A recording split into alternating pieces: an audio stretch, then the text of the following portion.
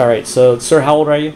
Uh, 43. 43, and you're here because you've got uh, some pain in your leg or some discomfort or numbness in your leg. Can you tell me a little bit about that and, and show me where you're having the, the, the discomfort? Uh, the numbness started around uh, a couple of days ago, and it's just this, I guess this, what you would call maybe a quadrant or one area here. Uh huh. It's one large circle, and it's just numb right on the outside of my thigh. Okay. It's not numb on the top or the inside or the bottom. It's just Okay. this right side here.